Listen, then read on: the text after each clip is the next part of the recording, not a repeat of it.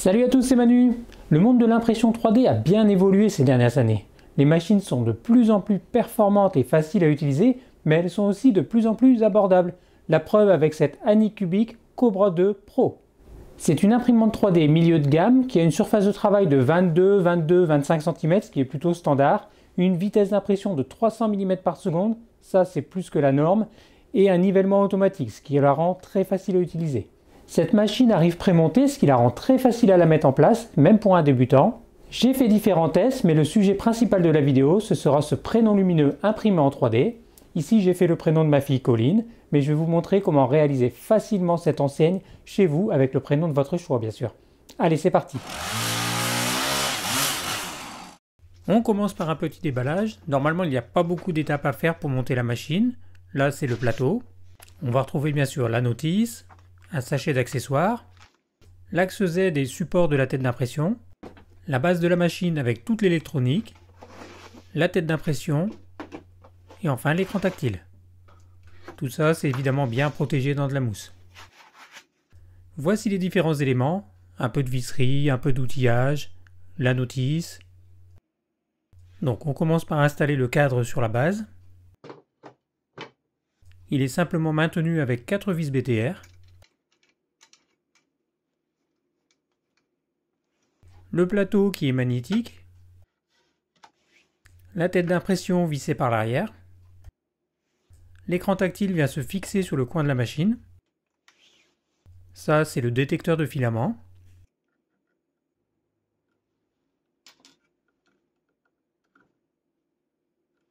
et enfin le support de bobine de filament. Ensuite c'est le câblage, rien de compliqué, tout est bien expliqué dans la notice et les câbles sont repérés. Ici, je viens fixer le tuyau du filament sur la gaine qui va à la tête d'impression. Et voilà, l'installation de la machine est maintenant terminée, il n'y avait aucune difficulté. Première mise en marche de la machine, on commence par choisir la langue. Bon, le choix est assez restreint. Si on n'est pas en Chine, ici on choisit Global. Là, je vais connecter la machine au réseau Wi-Fi. Et là, l'assistant me propose de télécharger l'application pour smartphone.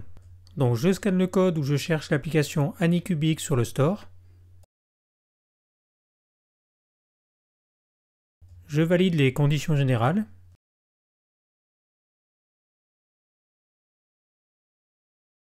Là, j'ai créé un compte et je choisis un pseudo.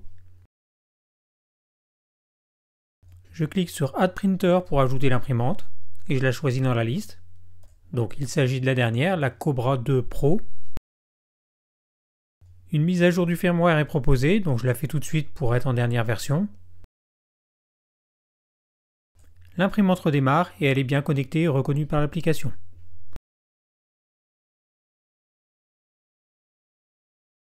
Donc pour l'instant cette imprimante est neuve donc elle n'a jamais été utilisée et on peut voir dans les stats le nombre d'heures qu'elle a tourné et le nombre de mètres de filament qu'elle a utilisé. Je reviens sur l'écran de l'imprimante et je fais suivant.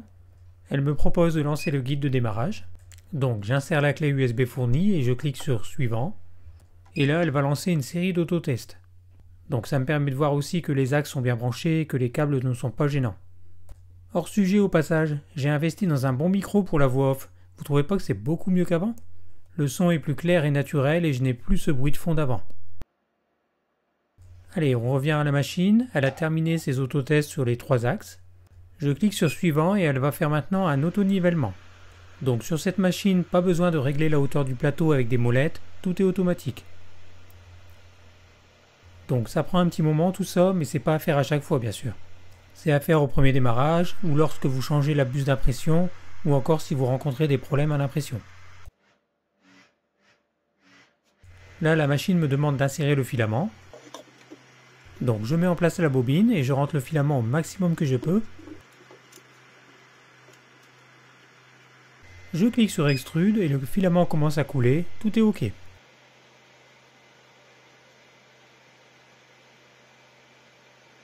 Donc là la machine va lancer un test de résonance pour s'adapter aux conditions réelles où elle est installée. Elle va par exemple compenser une table qui n'est pas bien rigide. Donc là, à ce moment-là, elle n'a pas froid. Si elle tremble comme ça, c'est à cause du test de résonance.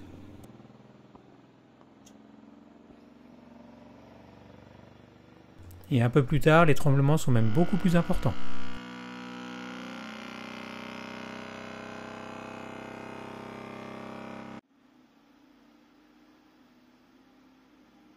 Les tests de machine sont finis et là la machine me propose d'imprimer le modèle de test. Il s'agit d'un requin décapsuleur.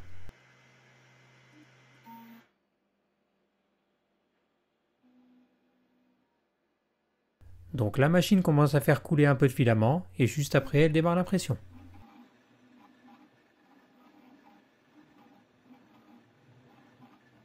Donc bien sûr ça démarre doucement pour faire les contours.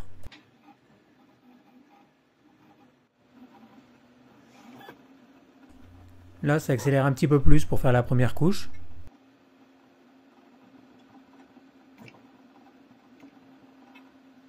Et pour les couches suivantes, on est sûrement en vitesse maxi et c'est très impressionnant. Les déplacements sont extrêmement rapides.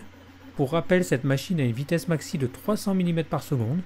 Donc là, je suis bien en vitesse réelle, ce n'est pas un accéléré. Et à partir de là, je passe en vitesse accélérée.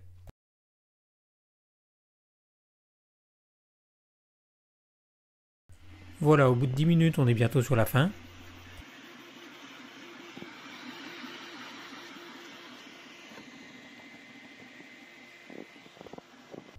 Et voilà, elle a terminé l'impression en seulement 11 minutes et 16 secondes.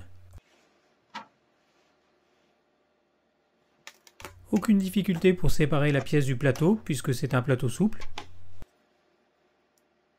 Par contre, il y a un petit peu de nettoyage autour que je vais enlever au cutter. C'est très propre, même si je suis moyennement fan du plateau granuleux. Je préfère encore un plateau bien lisse, ça fait de plus belles impressions.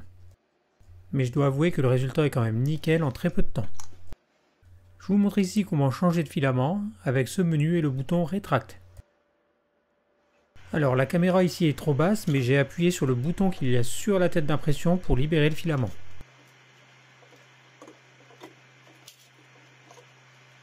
Je vais essayer une autre impression avec ce filament multicouleur. Donc pour installer un nouveau filament c'est très simple, il suffit de le pousser jusqu'au bout et de cliquer sur Extrude pour en faire couler un peu de l'extrudeur.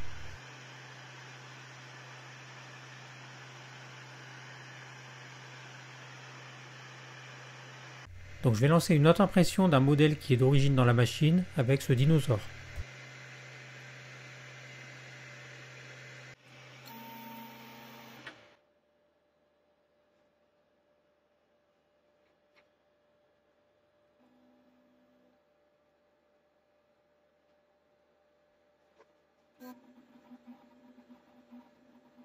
Et là, je me rends vite compte d'un problème, c'est que le PLA ne semble pas bien fondre ni coller à la plateforme. Et en effet, d'après l'étiquette, ce n'est pas un PLA qui est prévu pour aller à des vitesses aussi élevées. Il est marqué 30 à 60 mm par seconde alors je suis à 300. Donc le modèle finit par se décoller, j'annule la pression.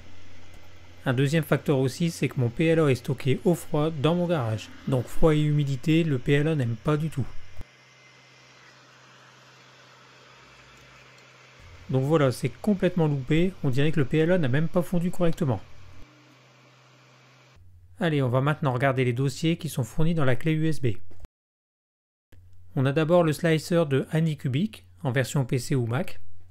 Donc je lance l'installation. Pour la langue, c'est comme l'écran tactile, le choix est limité.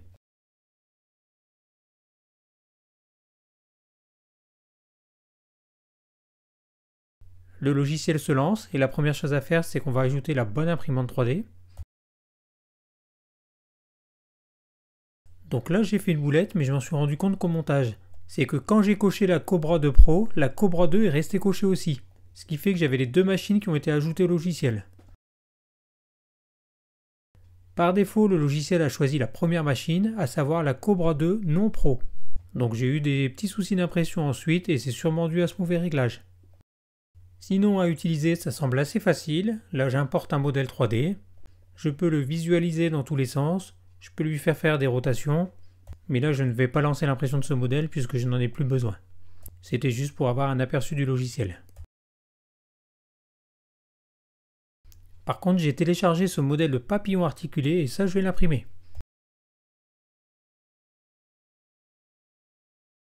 Je vais utiliser un PLA standard, donc je choisis dans la liste générique PLA. Je clique sur Slice Now pour lancer la découpe. Et j'ai maintenant un aperçu des différentes couches d'impression.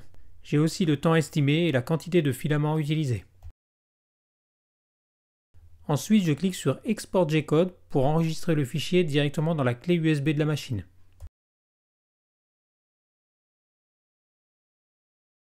Je vais retrouver le contenu de la clé USB dans le menu U-Disk et quand je lance la pression, il commence par copier le fichier dans la mémoire de la machine.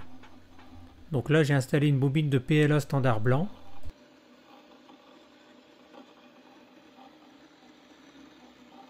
Et là, j'ai de nouveau le modèle qui se décolle du plateau.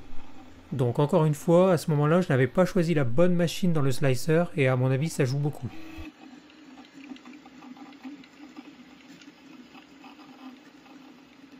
Donc ce que j'ai fait, c'est que j'ai rajouté des supports partout pour avoir une bonne accroche au plateau.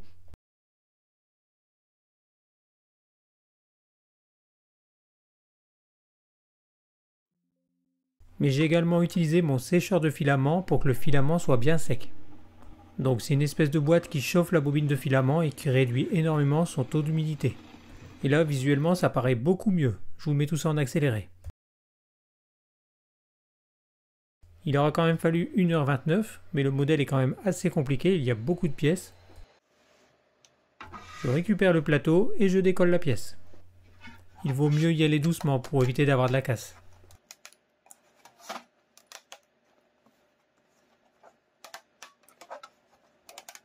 Et là, je me dis qu'en cochant ajouter des supports partout, j'ai peut-être fait une bêtise. Et en effet, il a rajouté des supports partout, même entre les éléments mobiles. Ça a été une vraie galère à nettoyer, mais le résultat est quand même là, mon modèle est bien imprimé et bien articulé.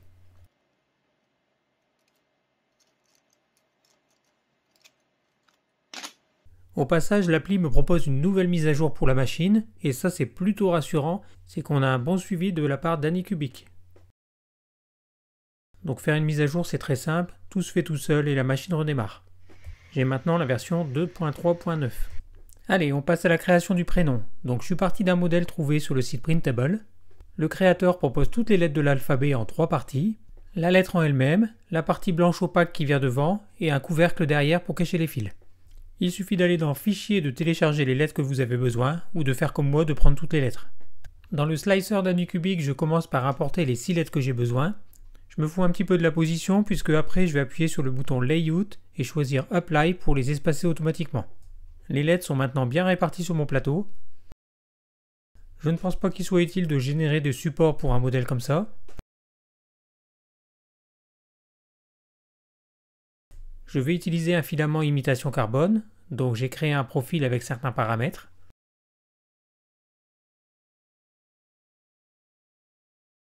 Je clique ensuite sur Slice Now pour lancer le découpage. L'imprimante est très rapide, mais pour 6 pièces comme ça, le logiciel m'annonce quand même 8h41 d'impression. Et je vais utiliser 79 mètres de filament, soit 235 grammes. J'exporte le fichier G-code que je vais mettre dans la clé USB et je lance l'impression sur la machine. Un timelapse quand c'est le plateau qui bouge, c'est pas terrible à regarder. Ici, c'est la partie avant des lettres en PLA blanc standard. Et pour cette partie-là, il n'aura fallu que 52 minutes. Et je n'ai aucun mal à les décoller. Par contre, je vais avoir un petit peu de boulot pour nettoyer les contours.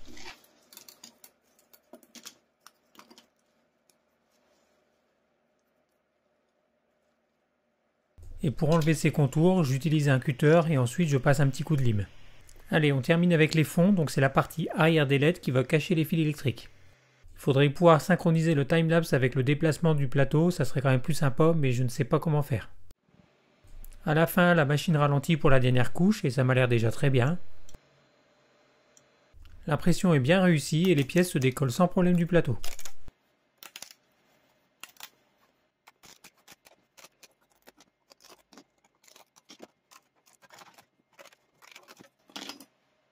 J'ai également imprimé les petites pièces de raccord et de finition.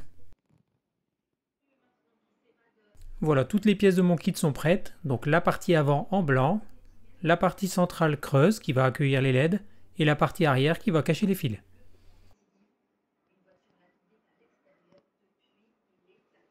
Je commence par fixer les lettres entre elles. Donc pour cela, je vais utiliser ces petites pièces de raccord. Je viens ajouter un petit point de colle à chaque fois pour euh, maintenir l'ensemble. Et ces pièces sont vraiment prévues sans jeu, donc j'utilise une pince pour les emboîter à fond.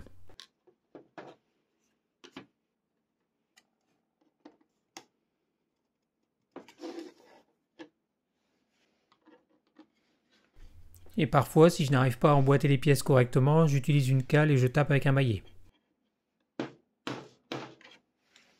On passe maintenant à l'électronique, composée des LED WS2812B. Ce sont des LED RVB adressables.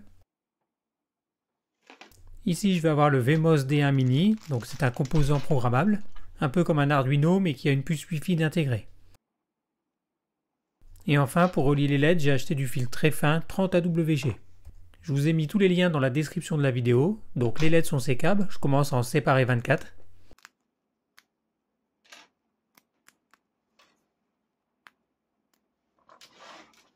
Je colle ensuite les LED à l'arrière des lettres.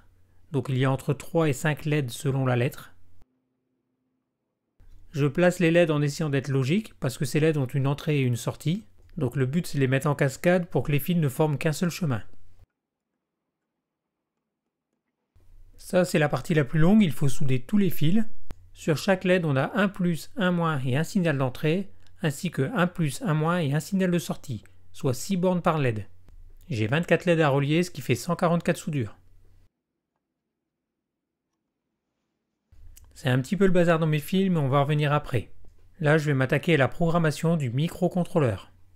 Donc je le relie avec un simple câble micro USB à mon ordinateur. Je me rends sur le site install.wled.me, je vous ai mis le lien dans la description. Je clique sur le bouton Install, je choisis le seul port série qui m'est proposé et je clique sur Connexion. Ici, je choisis Install WLED. Donc WLED, c'est un projet créé par des passionnés qui permet justement de piloter ces LED NeoPixel. L'installation est terminée, on va pouvoir configurer la connexion Wi-Fi. Je rentre l'identifiant et le nom de ma clé Wi-Fi et je clique sur Connect. Le module est configuré, je clique sur Visit Devices pour accéder à son interface web. Une belle interface web, tout ça intégré dans un mini module. Au passage, je récupère l'adresse IP là-haut. On va pouvoir parcourir tous les effets, mais avant, il faut terminer de souder le module. Il n'y a que trois fils à souder, le plus 5 volts, la masse et le signal en D4. Je relie le module sur un chargeur USB. Et là, petit souci, je n'ai pas toutes les LED qui s'allument. J'avais une soudure mal faite, le deuxième essai, c'était le bon. Je reviens sur l'interface web et on va pouvoir tester les effets. Je peux bien sûr choisir une couleur fixe dans le nuancier. Je peux augmenter l'intensité lumineuse ici. Et ensuite j'ai des tas d'effets préenregistrés. Il y en a vraiment pour tous les goûts, je vous invite à faire le tour. Et s'il y en a un qui vous plaît et que vous voulez mettre en favori, vous cliquez sur le bouton Preset à droite. On peut également enregistrer les segments séparément, par exemple dire que le C c'est la lettre 0, 1 et 2. Par contre à chaque fois que je l'ai fait, tout s'efface et ça revient à 0. Donc il s'agit peut-être d'un bug, je vais surveiller les mises à jour. Et ça serait ainsi encore mieux puisqu'on pourrait commander chaque lettre séparément. Au lieu de l'adresse IP, j'ai wled-colline.local. Donc pour régler ça, vous allez dans Config, Wi-Fi Setup et vous pouvez rentrer l'adresse que vous voulez.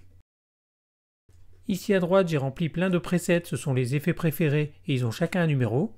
Par exemple, Rainbow, c'est le numéro 6.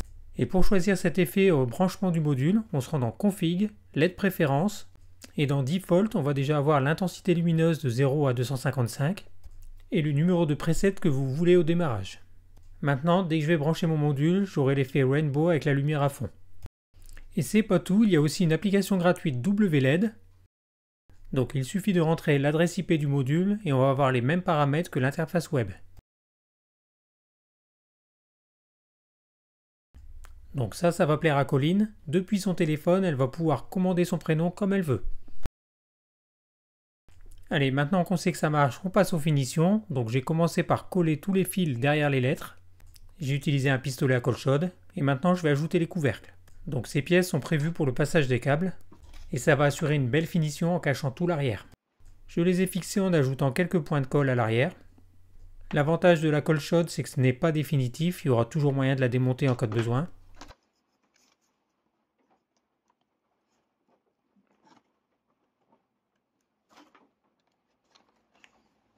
Maintenant, je vais ajouter les diffuseurs à l'avant, donc si l'impression est nickel, il s'ajuste pile poil.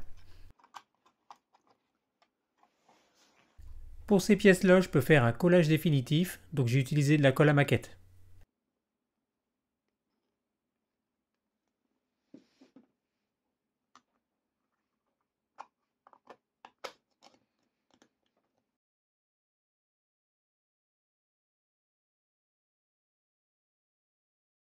Je reviens sur le slicer. C'est à ce moment-là que je me suis rendu compte qu'il y avait deux imprimantes et que je n'étais pas sur la bonne. Donc pour être sûr de ne pas faire d'erreur, je vais carrément supprimer la version non pro. Au moins, j'en ai plus qu'une seule dans la liste. Dernière pièce à imprimer en 3D, ça va être un boîtier pour le module ESP12F. Donc c'est pareil, les fichiers sont à télécharger sur Printable. Comme avant, je laisse les logiciels les placer automatiquement. Par contre, là, on va avoir besoin de support car il y a des parties dans le vide, comme le trou pour le port USB. Donc je mets des supports partout et je lance la découpe. Ça me paraît pas mal, on va envoyer tout ça en impression. Le temps annoncé n'est que de 10 minutes. Il fait toujours froid dans mon garage, donc je laisse la bobine dans le sécheur de filament.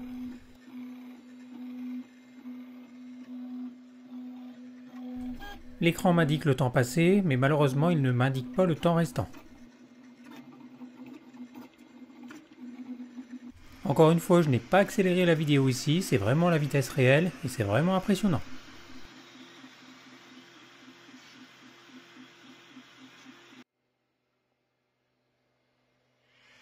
Voilà, comme annoncé, ça a vraiment duré 10 minutes.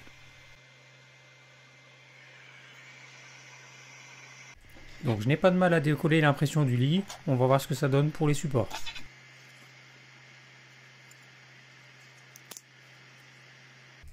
Eh bien ça se détache tout seul, sans laisser de traces, aucun problème.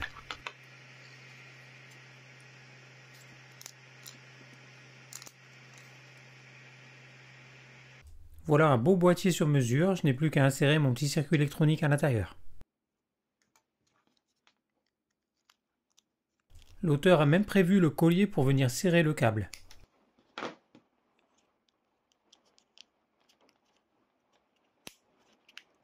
J'ajoute également ces deux finitions qui viennent de chaque côté. Et enfin, je trouve que l'ensemble manque un peu de rigidité, donc je vais ajouter cette mousse plutôt dense avec un double face.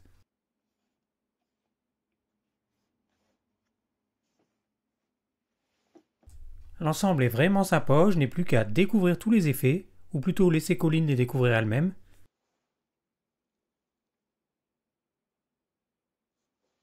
Et voilà ce que ça donne une fois installée dans sa salle de jeu. Au cas où vous n'auriez pas remarqué, elle aime beaucoup les lumières et les néons. Mon bilan est très positif sur cette Anycubic Cobra 2 Pro. Donc je le répète, cette machine elle est abordable, elle est facile à installer et à utiliser. Elle est très rapide, elle est aussi très fiable, je n'ai eu aucun plantage avec. J'aurais juste préféré un plateau lisse, mais c'est vraiment pour chercher la petite bête, sinon c'est une excellente machine.